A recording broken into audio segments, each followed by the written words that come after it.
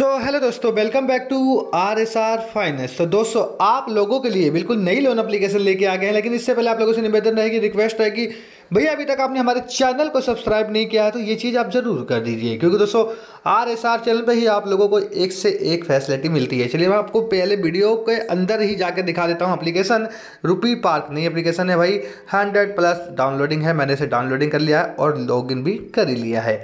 अब मैं आपको डायरेक्टली अप्लाई करके दिखाने वाला हूँ। यहाँ पर मुझे ऐसा लगता है कि भाई मल्टीपल लोन एप्लीकेशन का ऑप्शन मिलेगा। कोई बात नहीं, हम क्या करेंगे अप्लाई नाव पे क्लिक करेंगे।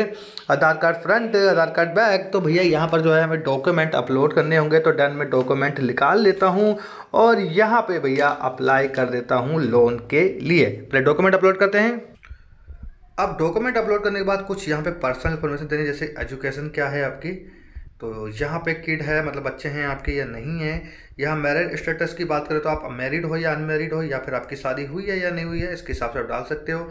एम्प्लॉयमेंट टाइप में आपको डालना है भैया स्टूडेंट हो फ्रेशर हो, या फिर मैं डाल देता हूँ बी पी एम स्टाफ और यहाँ मंथली सैलरी की अगर मैं बात करूँ तो यहाँ पर आपको पंद्रह से तीस हज़ार रुपये के बीच में रखनी है। एक कंपनी का नाम फिल करना है तो डन, यहाँ पर मैं कुछ भी एक कंपनी का नाम फिल कर देता हूँ।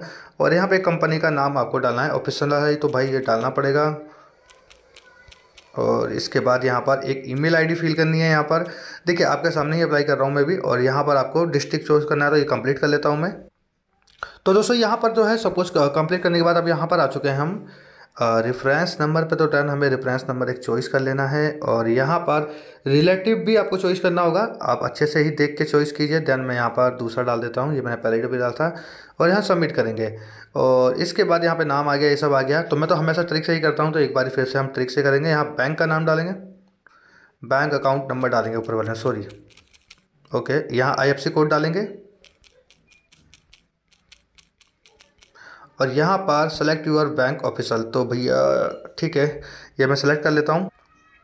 अब यहाँ पर एक यू पी आई डालनी है तो डन मैं यू पी आई डाल देता हूँ आप लोगों के सामने। ही और यहाँ पर सबमिट कर देना है। देखिए, मैं आपके सामने ही अप्लाई कर रहा हूँ।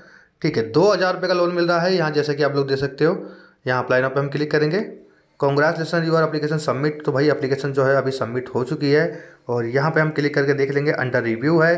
और देखना यह है कि यहाँ पे कितना टाइम लगता है भाई, नई एप्लीकेशन है, कब तक मिलेगा, जैसे मिलता है, इसकी पार्ट टू वीडियो ज़रूर आ जाएगी। और मुझे लगता है मल्टीपल ऑन एप्लीकेशन है ये, कि देख सकते हो यहाँ पे काफ़ी सारे एप्लीकेशन खुल जाएँगे। फ़िलहाल के लिए जो है, मैं एक ही में मैंने अभी अप्लाई किया ऑप्शन भी एक ही में मिला है। और जैसे मैं इसकी रिपेमेंट करूँगा तो फिर मैं देखूँगा कि क्या है। मिल, पहले मिल तो जाए, फिर देखते हैं।